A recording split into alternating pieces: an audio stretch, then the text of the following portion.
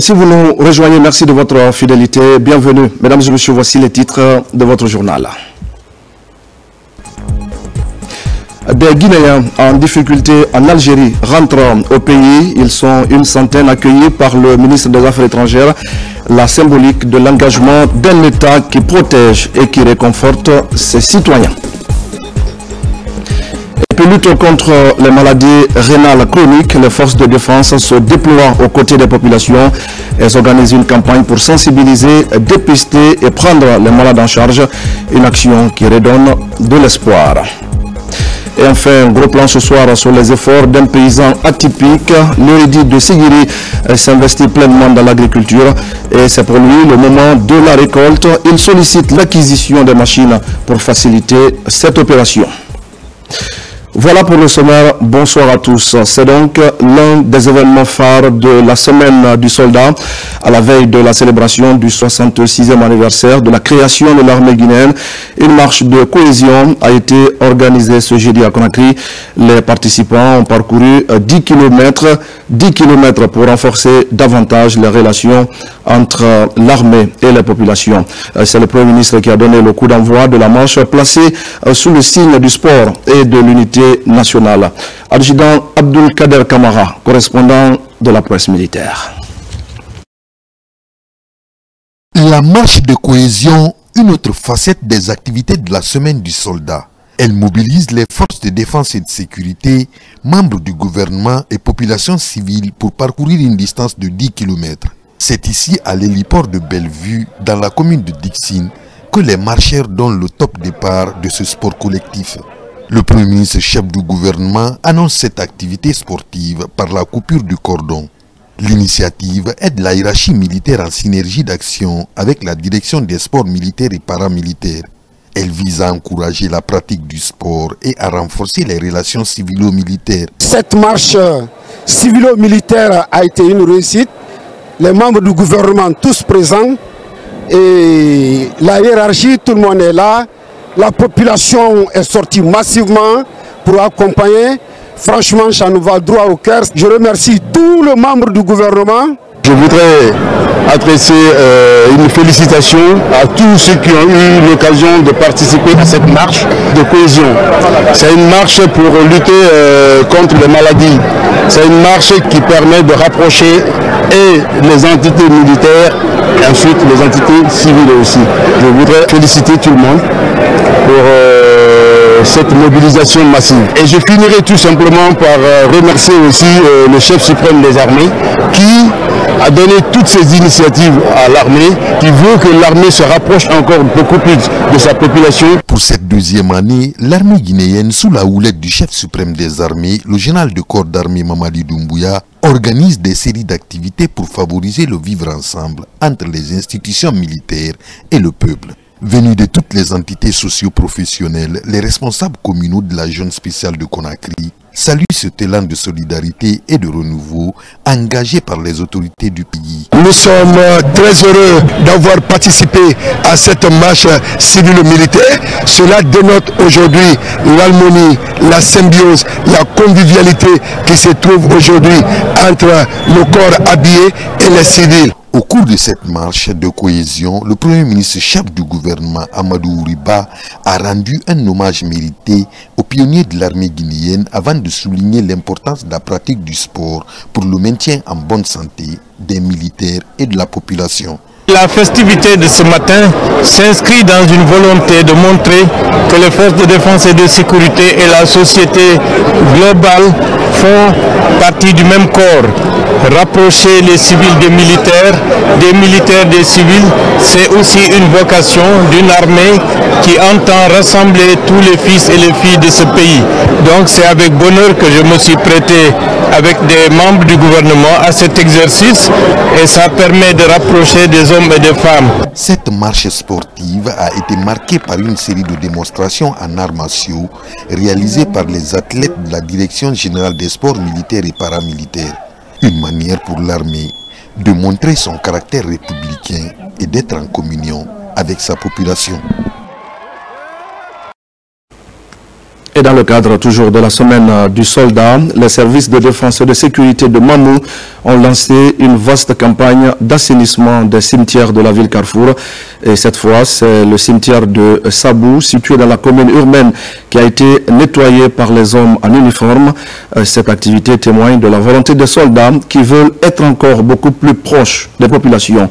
Mamadou Pate Baldé est notre correspondant sur place. C'est à la faveur de la semaine du soldat que les autorités politiques, administratives et militaires ont initié cette opération. Elle mobilise l'ensemble des services de sécurité et de défense. Leur objectif, procéder au nettoyage systématique du cimetière de Sabou. Nous avons mis cette journée à profit, venir assainir l'un des cimetières de la commune urbaine de Mamou. Et une manière aussi de prouver aussi à la population que nous sommes à côté d'eux, non seulement pour leur propre sécurité, mais aussi renforcer aussi la cohésion entre nous. nettoyer ici, ceux qui le savent, on peut faire même plus que ça, même s'il fallait prendre les pelles pour enlever complètement les, ordures, on, allait le faire, puisque ça, ça, signifie beaucoup de choses. Ici, c'est une demeure éternelle pour tous ceux qui sont arrêtés ici. Nous sommes appelés un deuxième bon matin.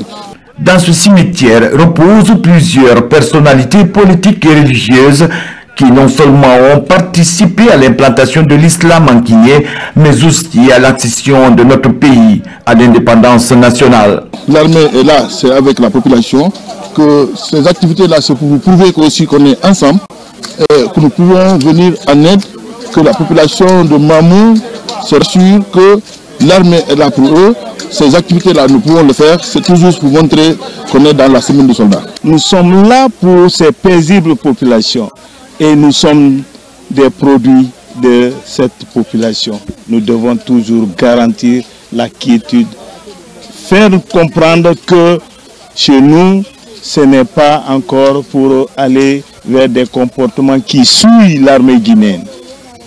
C'est ces valeurs-là qu'on doit pérenniser. L'occasion de cette semaine du soldat, les services de sécurité et de défense de Mamou envisagent aux côtés des populations organisées plusieurs activités pour montrer leur détermination sans faille à sauvegarder l'intégrité du territoire national.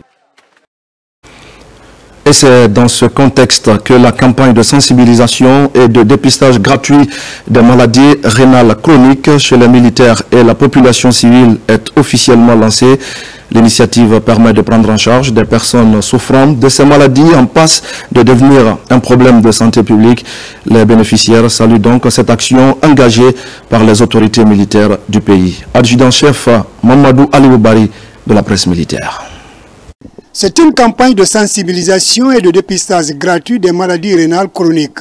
Elle est destinée à l'ensemble de la population, civile et militaire. Le coup d'envoi de l'opération a été donné ce matin à l'hôpital militaire de Conakry, situé au Kangalma Missamourituri. Une cérémonie rehaussée par la présence de plusieurs autorités civiles et militaires. Cette initiative de Monsieur le ministre de la Défense nationale s'inscrit sans doute dans le cadre de la mise en œuvre de la politique de soutien santé des militaires élargie aux populations civiles. C'est pourquoi la Direction générale du service de santé des armées a pris toutes les dispositions pour l'utilisation à bon escient des moyens dédiés à cette campagne. La maladie rénale chronique est un défi mondial de par sa fréquence et sa gravité. Selon l'Organisation mondiale de la santé, elle occupe la 12e place de mortalité et la 17e place de morbidité. Ce dépistage de masse a pour objectif principal de sensibiliser la population guinéenne sur la connaissance des maladies rénales chroniques. Cette première journée de consultation gratuite a connu une forte affluence. Des personnes souffrant de pathologies rénales sont prises en charge par les médecins militaires. Je suis là ce matin pour me faire consulter. Alors, j'ai reçu le résultat. Je remercie Dieu et je remercie les autorités. J'invite la population de venir se faire consulter. Il ne faut pas attendre qu'on tombe malade pour savoir qu'on est malade. On dit que la prévention coûte moins cher que la guérison. Cette campagne de prévention permettra à tout un chacun de connaître son statut par rapport aux maladies rénales. Initiée par la Direction générale du service de santé des armées à travers le service d'hémodialyse du centre hospitalier de Kangal Faya Diallo et soutenue par le ministère de la Défense nationale, Cette campagne va permettre de dépister et d'apporter des soins aux malades identifiés. C'est une campagne euh, qui se fait de façon gratuite pour euh, non seulement le personnel militaire, mais aussi pour le personnel civil. Parce que c'est une maladie, euh, selon les médecins, qui tue. Donc toute personne qui a la possibilité, qui a cette occasion-là, en profite pour, connaître son état de santé. Selon l'Organisation mondiale de la santé, une personne sur dix souffre de maladie rénale. En Guinée, le taux de prévalence n'est pas connu. Cette campagne de sensibilisation et de dépistage devrait contribuer à changer la tendance. Elle va se poursuivre dans les garnisons militaires de la zone spéciale de Conakry jusqu'au 21 novembre 2024. Et nous allons parler encore de cette marche de cohésion sociale que vous avez suivie euh, tout à l'heure à Conakry, mais qui s'est déroulée aussi dans les régions de Zérekoré et Kindia. Les athlètes militaires ont parcouru plusieurs kilomètres avec les populations de ces régions fortement mobilisées pour la circonstance. Euh, cette initiative de l'état-major général des armées permet d'encourager la pratique du sport et de renforcer les relations civilo-militaires. Adjudant-chef Omar Kamara. À l'image de la zone spéciale de Conakry, la 4e réserve militaire de Zérokouré était ce matin au rythme de la marche de cohésion sociale. Forces de défense et de sécurité et population civile étaient fortement mobilisées à la place des martyrs pour cette activité sportive.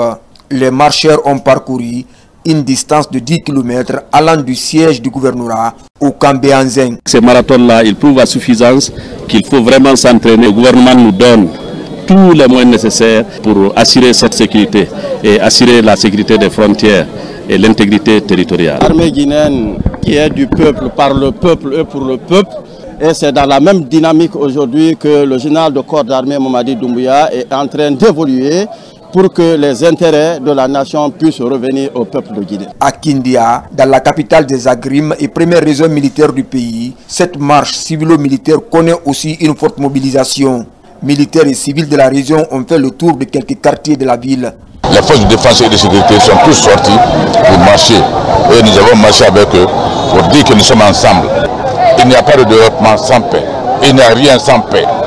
Donc si nous sommes en paix, il faut consolider cette paix. Au nom de la population, je ne peux que saluer le commandant de région de cette marche qui doit toujours faire l'engouement pour que le peuple de Guinée soit ensemble à l'abbaye, cette activité sportive initiée à l'occasion de l'an 66e anniversaire de la création de l'armée guinéenne a connu la présence des autorités communales, préfectorales et régionales, ainsi qu'une forte mobilisation de la population. Elle s'étend sur une distance de 7 km allant de la ville de l'abbaye jusqu'au camp Elazoumartal. Au nom de toute la hiérarchie militaire et au nom de toutes les forces de défense et de sécurité, avec ce marathon, c'est un sport qui va dans la santé, de nous.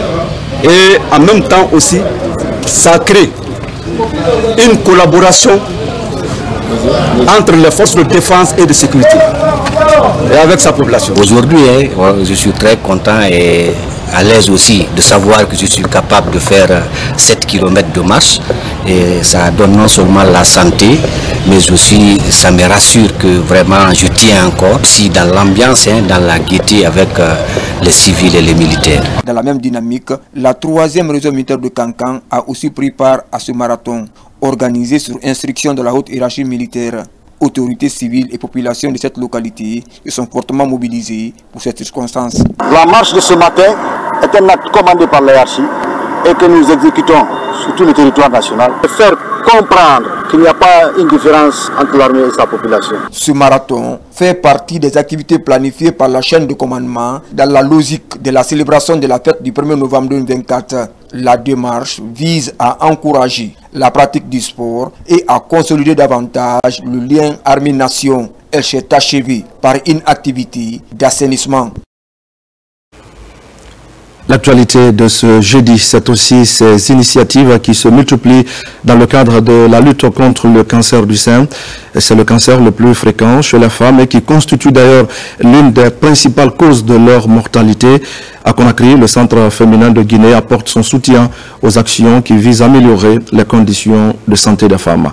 Ali Badara Octobre Rose marque la célébration du 31e anniversaire du cancer du sein.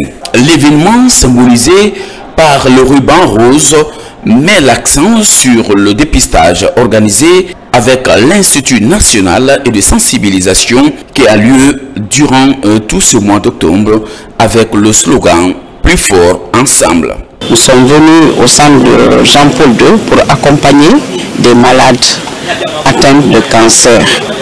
Le cancer n'est pas une fatalité. Il faudrait que nous sachions que ce n'est pas une maladie honteuse et qu'on encourage les femmes à faire le dépistage.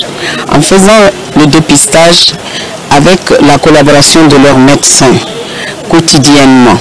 C'est une façon de manifester la solidarité euh, envers les malades et surtout dans leur prise en charge pour euh, l'achat des, médicaments euh, anticancéreux, l'achat, les dépenses diverses dans la prise en charge des malades. Le cancer du sein est le plus fréquent chez les femmes. Il constitue chez elles la principale cause de la mortalité selon les spécialistes. Le centre féminin de Guinée s'implique davantage à l'amélioration des conditions de santé des femmes à travers le pays. Aujourd'hui, je demande à mes copines femmes de se rendre à l'hôpital pour se faire dépister, car la santé avant tout. Tous les jours, le gouvernement guinéen face à cette maladie a appelé les citoyens à une prise de conscience collective face aux maladies graves qui affectent les femmes, notamment le cancer du sein. Des efforts sont également en cours pour améliorer de façon significative les soins de santé en Guinée forestière. L'hôpital régional de Zérékoré vient de bénéficier d'une zone de déchets et d'un château d'eau de 15 mètres cubes. La réception provisoire de la zone de déchets est faite en attendant la fin des autres travaux. Le ministère de la Santé et ses partenaires appuient l'initiative. Lancé Kamisoko.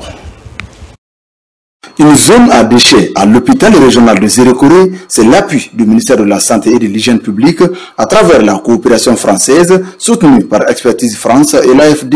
C'est un geste qui s'inscrit dans le cadre de la prévention et le contrôle des infections en milieu sanitaire. Nous sommes là aujourd'hui dans le cadre de la remise euh, d'un joyeuse qui permettra d'améliorer la qualité des soins et garantir la sécurité des patients, celui de la zone de déchets, de traitement des déchets, mais aussi la pose de la première pierre de la construction d'un château de 15 mètres cubes pour desservir toutes les structures sanitaires afin qu'ils puissent pratiquer les bonnes manières d'hygiène hospitalière au sein des structures sanitaires. Centre de tri de déchets euh, permettant ainsi euh, d'éviter d'avoir des contaminations liées au stockage euh, de ces déchets dans les différents hôpitaux, notamment celui de Zérékoré qui est un réceptacle de nombreux déchets médicaux de la région et qui est situé en centre-ville et qui pourrait avoir un impact également sur les populations autour. Premier du genre dans cet hôpital de référence en région forestière, l'acte est hautement apprécié par les bénéficiaires. Il n'y a pas de qualité de soins sans la PC. Ni eau, ni assainissement, il n'y a pas de qualité de soins. Donc aujourd'hui, nous sommes capables de gérer les déchets au niveau régional. Tous les hôpitaux, quand ils envoient dans une zone de stockage, on peut les incinérer progressivement et en toute sécurité. et de faire en sorte que les malades qui viennent à l'hôpital régional des Écouris soient en sécurité et soient dans le confort. Et maintenant, tout à l'heure, on vient de faire encore la pose de la, première pierre de l'installation d'un château d'eau avec un système solaire pour appuyer le projet, pour appuyer toujours la PC à l'hôpital de. Nous profitons de l'occasion pour remercier les partenaires de développement, dont notamment l'Union européenne, l'Agence française de développement et l'expertise France. Pour soutenir l'élan de propriété au sein de l'hôpital régional de Zérékoré, un château d'eau de 15 mètres cubes va bientôt sortir de terre sur cet espace. La réception est prévue pour la fin du mois de décembre prochain. Et voilà qui nous amène à parler euh, de ce renforcement de capacité des formateurs de santé à Farana. Ils améliorent leurs connaissances en matière de prise en charge de la malnutrition aiguë selon le protocole simplifié de l'Organisation mondiale de la santé. Euh, Six jours de travaux ont permis d'échanger sur l'utilisation des intrants thérapeutiques, des exercices pratiques avec une approche participative ont été au cœur des activités. Ibrahim Aoulien Fofana. À Farana, Ce cadre de partage regroupe les cadres du gouvernorat et les acteurs sanitaires de la région. L'initiative vient du ministère de la Santé par le biais de la Direction nationale de la santé familiale et de la nutrition. C'est qu'ils vont apprendre aux mères d'épicer la malnutrition avec le périmètre brachial dans les familles. Et ce qui va réduire le taux élevé de malnutrition, cela va permettre aussi de réduire les complications et de réduire le temps d'hospitalisation dans les cliniques. Je remercie très sincèrement le ministère de la Santé qui a fait de la nutrition son cheval de bataille pour qu'on puisse vraiment réduire l'impact de cette malnutrition sur les enfants de 6 à 59 mois. C'est vrai que nos activités agricoles nous mettent en bonne position, mais nos pratiques aussi sont en défaveur de la nutrition de ces enfants. Durant ces six jours d'échange, sept modules ont été enseignés pour l'atteinte des objectifs. Un rendez-vous marqué par la présence des pédiatres, des hôpitaux régionaux et préfectoraux, les infirmiers et les cadres du niveau central. Avant, on veut les malnutrir, mais après cette formation, la surveillance sera très très très bien. Parce qu'on promet aux formateurs que nous allons prendre en charge les enfants malnutris de la région de Farana avec les deux mains. J'avoue que euh, cette formation s'est bien tenue dans la région de par les résultats qui ont été communiqués, de par les présentations qui ont été faites.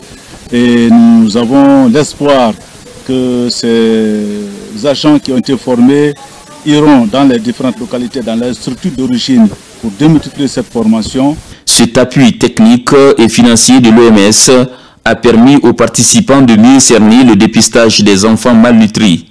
Et les autorités sanitaires ont promis d'élargir l'initiative aux autres acteurs de la région pour sauver des vies. Dans le reste de l'actualité, cette question, comment vulgariser l'avant-projet de la nouvelle constitution? Plusieurs conseillers nationaux et agents de l'administration parlementaire apprennent les techniques avant leur déploiement sur le terrain. Les travaux vont durer quatre jours et ils ont été lancés par le président du Conseil national de transition, Dr Dansa Kourouma, Robert Sidi Tolno, Mohamed Lamine Kamara et Mohamed Diansane.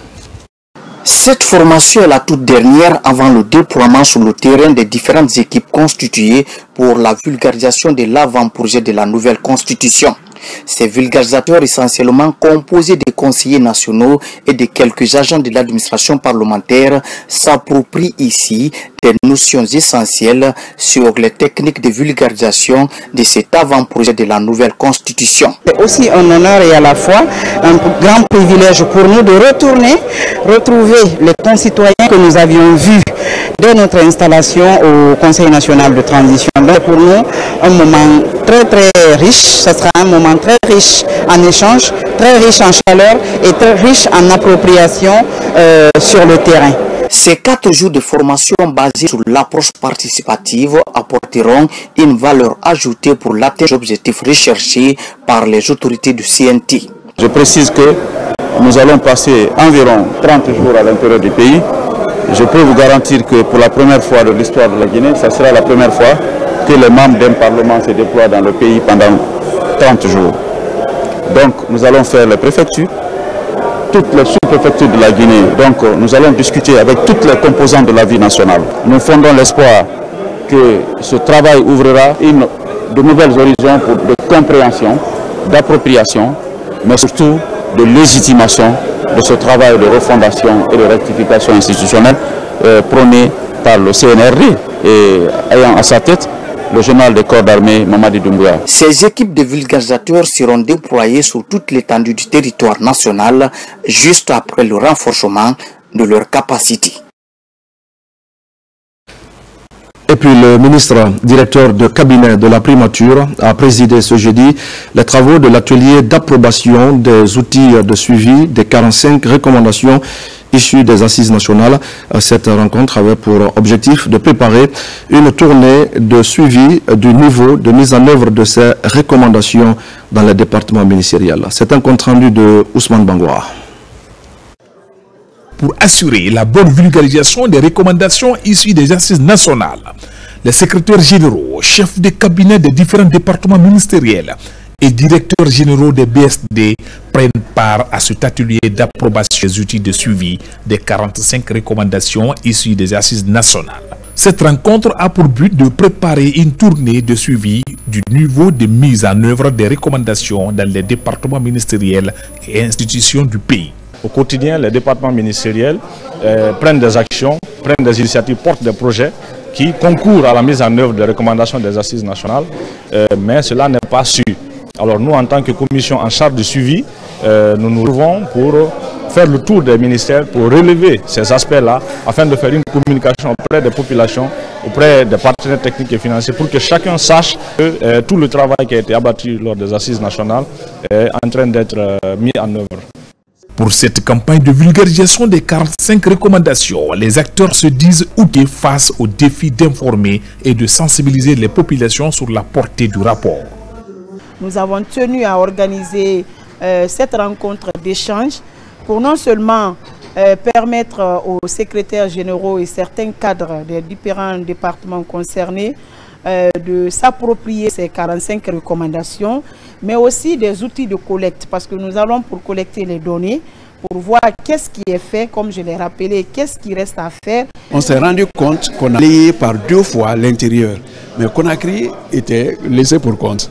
C'est maintenant nous voulons organiser ici, faire les départements ministériels et aller après vers les universités de Conakry. C'est très important. Le ministre directeur de cabinet de la primature, au nom du Premier ministre chef du gouvernement, invite les secrétaires généraux à toujours inscrire la question de la réconciliation nationale au centre de leurs actions.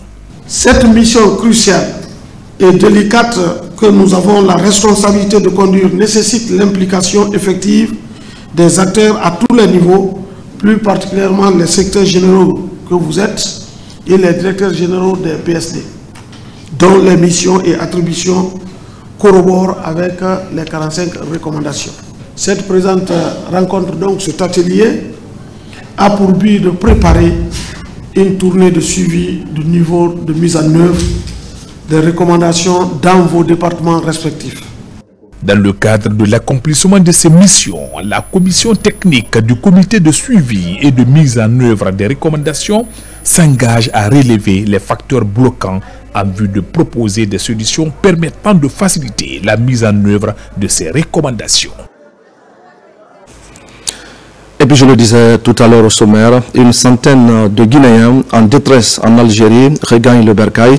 Ce groupe de migrants a été accueilli à l'aéroport international Ahmed Sékou Touré par le ministre des Affaires étrangères. Cette opération est un programme présidentiel exécuté par la direction des Guinéens établis à l'étranger. Makemedozo. Les pays du Maghreb sont considérés pour la plupart des jeunes d'Afrique comme des pays de transit pour accéder à l'Occident. Parfois, le rêve est brisé et ils se voient dans un état peu reluisant. Ce groupe de migrants vivait en Algérie.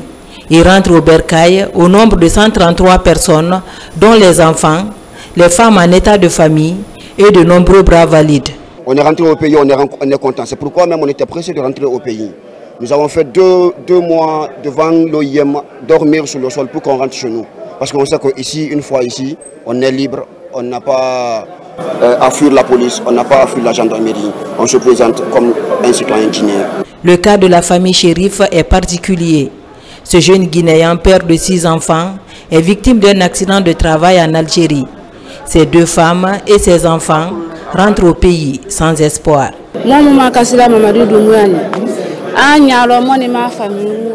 Le président Mamadi Doumbouya est notre seul espoir. Notre mari est décédé, nous sommes avec nos enfants. La Benjamin a six mois. On revient au pays brédouillé. Notre seul espoir, ce sont des bonnes personnes.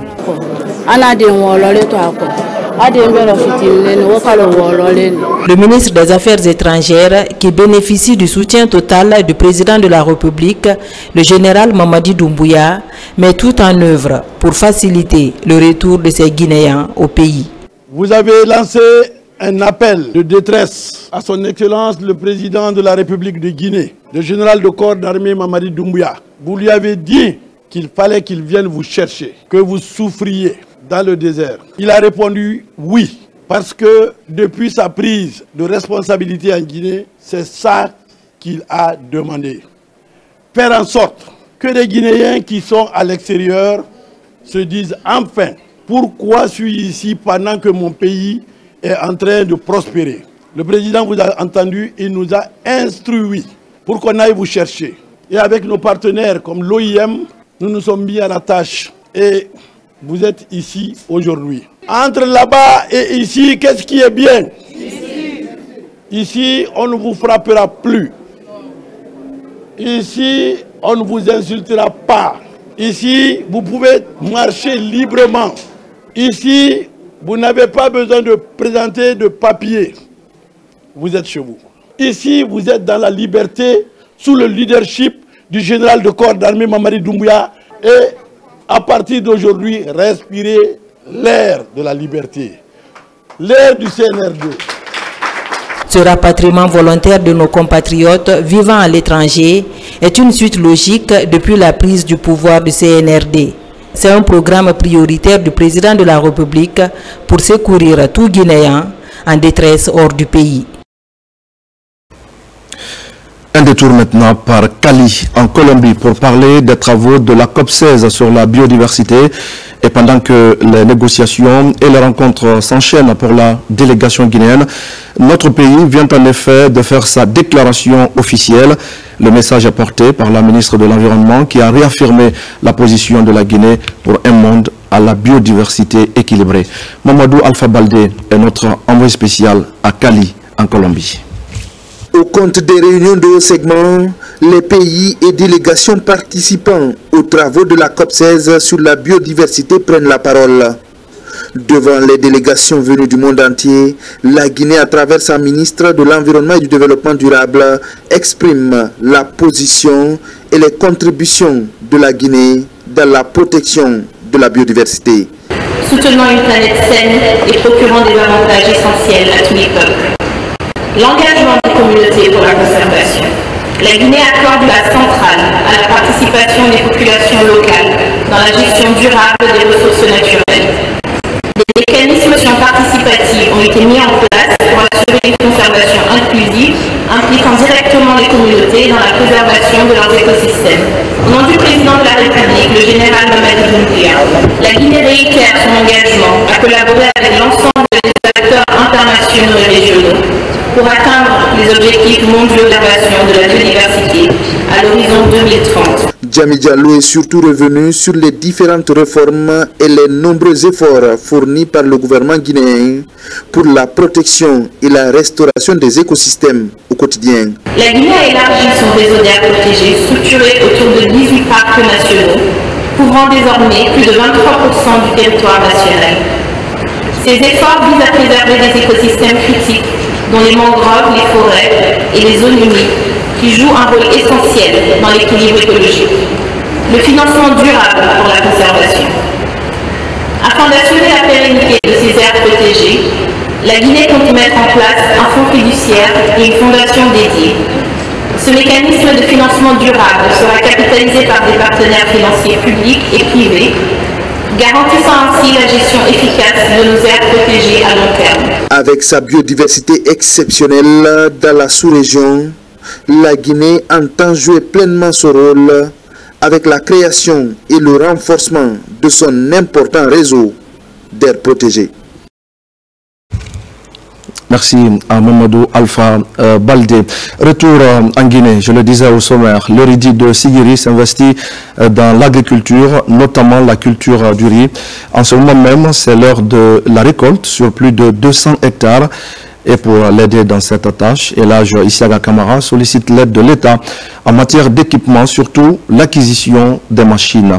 Reportage Nabi Kamara. Nous sommes dans un domaine agricole de 250 hectares mis en valeur cette année par Karmoko Isiaga Kamara, l'érudit de Sigiri. Fils du terroir, ici à Faranwalia précisément, il a décidé de pratiquer l'agriculture pour contribuer à l'éradication de la faim dans notre pays. Un souci constant du président de la République, le général Mamadi Doumbouya. C'est la moisson, c'est la récolte. Et nous avons vu à tous les niveaux, le champ vraiment a réussi. Nous voyons sur le terrain que vraiment le riz a bien donné. À l'endroit des autorités guinéennes, Kramosiaka s'inscrit dans l'esprit, n'est-ce pas, de notre président, le général d'armée du corps, Mamadi Doumbouya. Car Mamadi Doumbouya, ce président, il a essayé toujours d'inciter sa, sa, population vers l'agriculture, parce que sans l'agriculture, il n'y a pas de paix.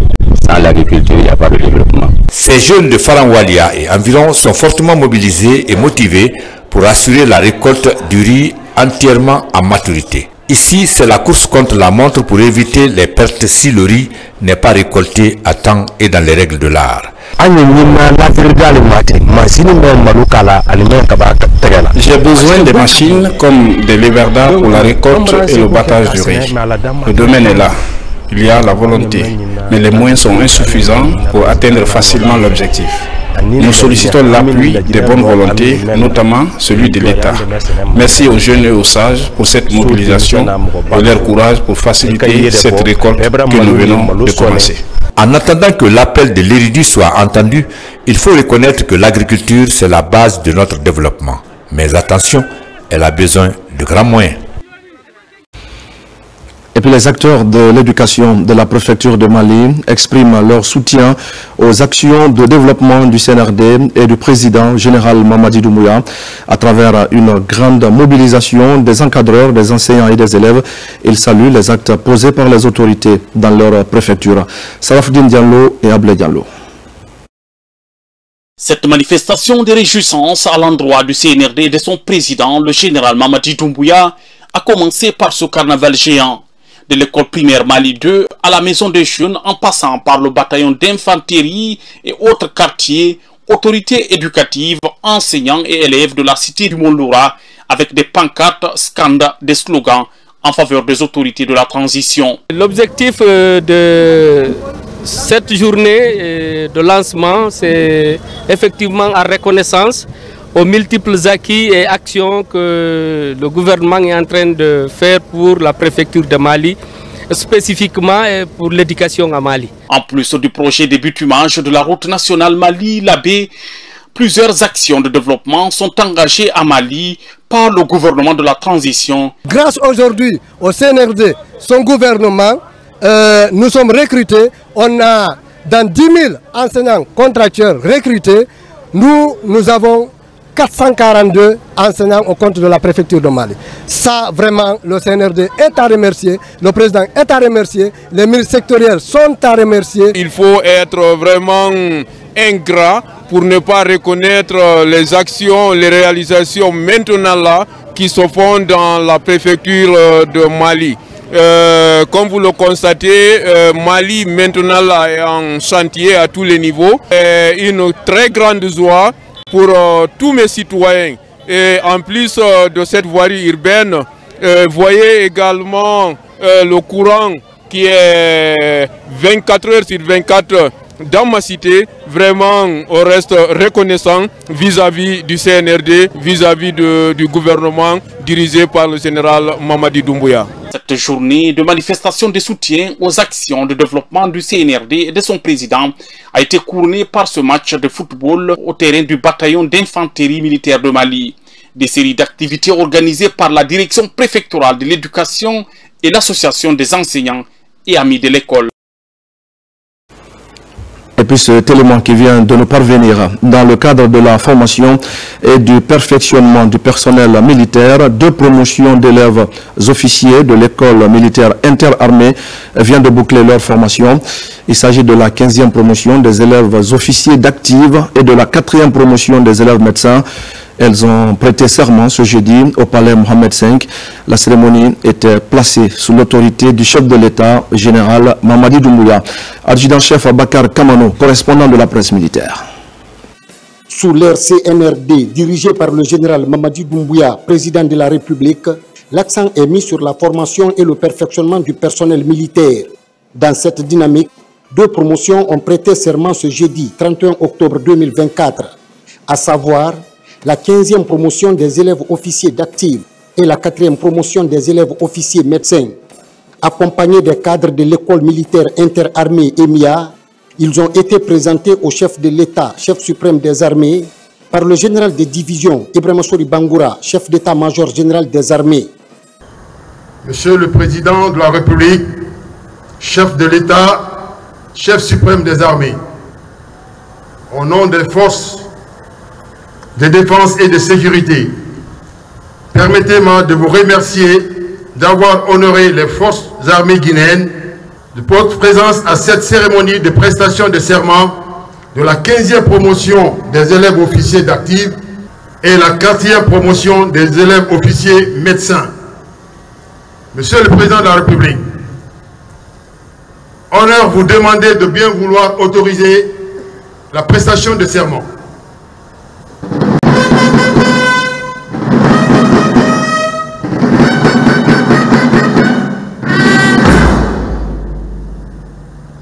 E promotion des élèves officiers d'actifs et la quatrième promotion des élèves officiers médecins. Genoux. Terre. Le drapeau sans sa date, rejoignez votre emplacement indiqué.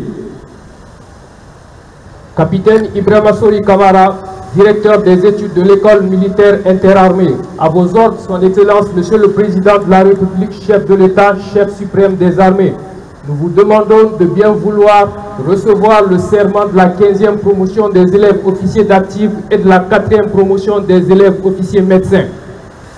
Pour le serment, Je jure de rester fidèle au peuple de Guinée, de ne jamais abandonner le drapeau, de donner ma vie pour la défense de la patrie et des institutions républicaines, de me conformer strictement aux lois et règlements militaires, de me soumettre aux exigences du devoir avec discipline, honneur, dignité et abnégation. Je le jure. Placée sous l'autorité du président de la République, cette cérémonie de prestation de serment a mobilisé d'éminentes personnalités, notamment des membres du CNRD, le ministre secrétaire général de la présidence de la République, le ministre directeur de cabinet de la présidence de la République, le ministre de la Défense nationale, le haut commandant de la gendarmerie nationale, directeur de la justice militaire, l'inspecteur général des forces armées guinéennes, ainsi que les attachés de défense des ambassades, la chaîne de commandement militaire et paramilitaire. À cette occasion solennelle, le chef suprême des armées, le général Mamadi Doumbouya, a baptisé les deux promotions.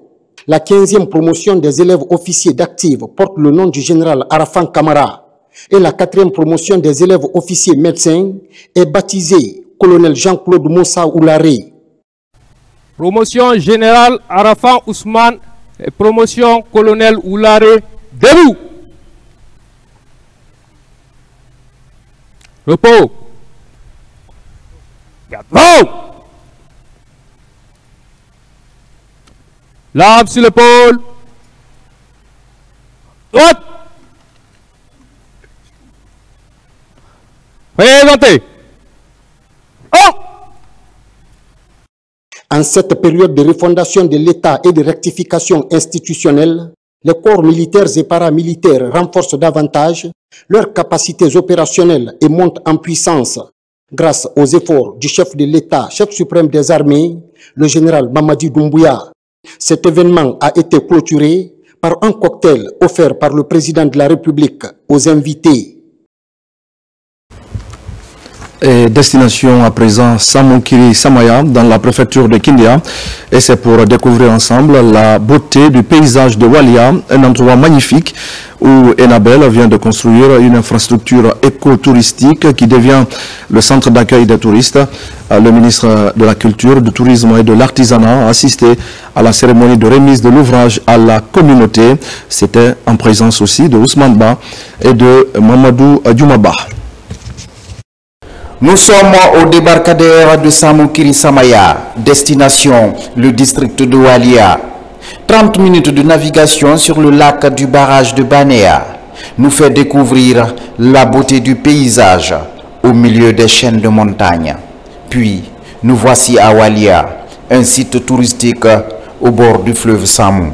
Quand les touristes viennent, on a des circuits à faire d'ici à Soussura Sousoura à Barkouyadi. Barkouyadi, on fait l'échelle traditionnelle, on monte sur la montagne. Après, on vient maintenant, on, on se tourne pour faire le circuit, de revenir jusqu'à la cime. C'est ma première fois de venir ici, mais je suis émerveillé parce que le tourisme, ce n'est pas seulement pour les Blancs. Il faut que Walia soit une destination touristique. Sur place, les populations sont mobilisées pour accueillir la délégation conduite par le ministre Moussa Moïse Silla. C'est à l'occasion de la mise à disposition de cette infrastructure écotouristique avec adduction d'eau pour servir de centre d'accueil des touristes. L'ouvrage est réalisé par Enabel dans le strict respect des normes ATAL. L'infrastructure comprend un restaurant de 15 places, une case familiale de deux pièces, trois cases simples, un bloc sanitaire ainsi qu'un réseau électrique d'énergie renouvelable et un système d'assainissement des eaux. Nous sommes époustouflés par la beauté de euh, son paysage, par la richesse de ces sites touristiques. Nous sommes donc ici aujourd'hui pour la réception de euh, cet ouvrage euh, écotouristique. Cela est fait grâce dans la, la redynamisation des liens de coopération avec euh, la Belgique, mais aussi grâce à la politique mise en place par le général de corps d'armée Mamadou Mouya, le président de la République. Cette infrastructure permettra d'ouvrir Walia aux visiteurs amis de la nature. Le site est bien indiqué pour le trekking, découverte du paysage et pour communier avec la nature, loin des embrouilles des grandes villes. Et puis, mesdames et messieurs, page noire de cette édition d'information suite au décès du Kuntigi de la Basse-Guinée, Elage Seronasouma, grande figure du paysage sociopolitique guinéen. Le président de la République a dépêché une forte délégation auprès de la famille éplorée à l'hôpital de l'amitié sino-guinéenne une délégation composée des membres du CNRD, des membres du gouvernement et de nombreuses personnalités. Les émissaires du président de la République ont témoigné aux membres de la famille éplorée la consternation et la compassion du chef de l'État, le président général Mamadi Doumbouya. Toutes les dispositions seront prises pour rendre un vibrant hommage à Elage Serouna Souma, grande figure paternelle et grand témoin de l'histoire de la République de Guinée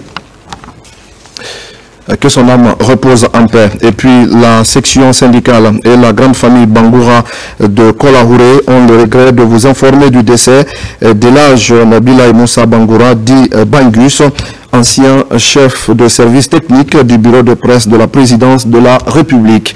Décès survenu le samedi 26 octobre 2024 des suites de maladie à Dakar. Le programme des funérailles se présente comme suit. Vendredi 1er novembre 2024, un symposium aura lieu à l'hôpital sino-guinéen à partir de 8 heures. L'enterrement aura lieu le même jour dans son village natal, Kouria Kolahouré, après la prière de 14 heures. La date du grand sacrifice sera communiquée ultérieurement. Prions pour le repos de l'âme du défunt Amen. Voilà, mesdames et messieurs, c'est la fin de cette édition d'information. Merci à tous de l'avoir suivi. Merci également à toutes les équipes qui m'accompagnent depuis quatre jours maintenant. Je vous retrouve très bientôt pour d'autres actualités de la Guinée, notre paradis, terre de richesse et d'innovation. Mais d'ici là, je vous souhaite à tous de passer une belle soirée en compagnie de nos programmes.